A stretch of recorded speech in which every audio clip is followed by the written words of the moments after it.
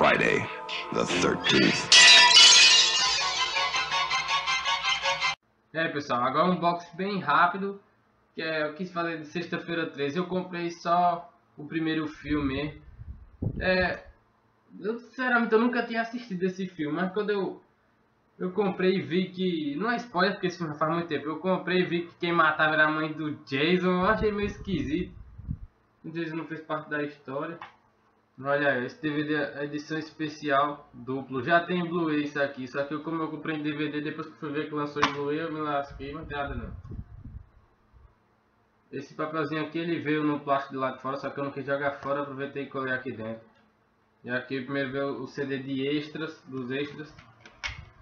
Depois o filme. A máscara do Jason, de extras. É bom, tem muitos extras e é tudo legendado, é, é muito legal para quem gosta desse, desse filme de dele. Olha atrás, ó. Kevin Bacon. Aqui uma reca de extra, ó.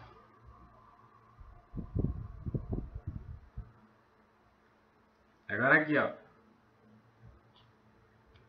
Para 18 anos, viu? Se você tiver menos de 18, não assista essa porra.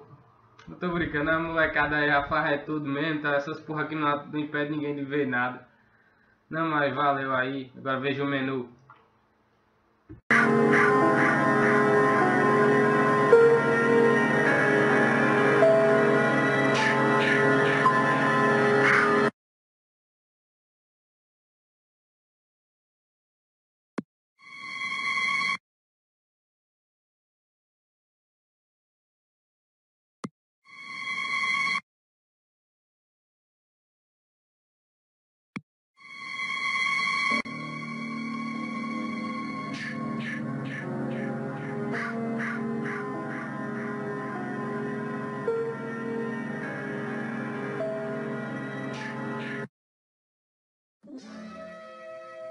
On this one shot in films.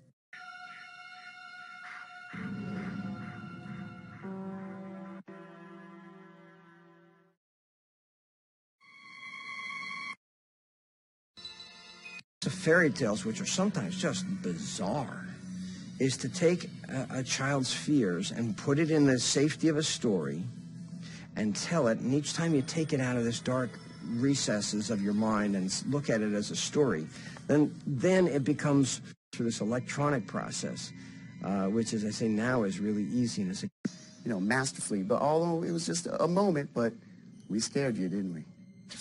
It, it's in, important to know that you know, we were trying to make what, what would be called a potboiler or a little movie that, you know, little movies with no stars didn't open nationally. They didn't do